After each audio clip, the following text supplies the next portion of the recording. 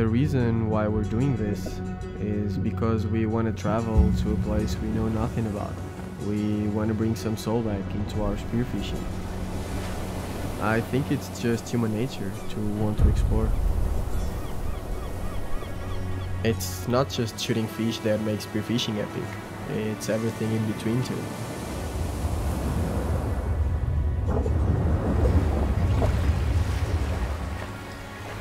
We don't know where to go.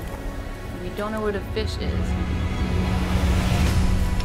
I think we don't totally know what's in store for us.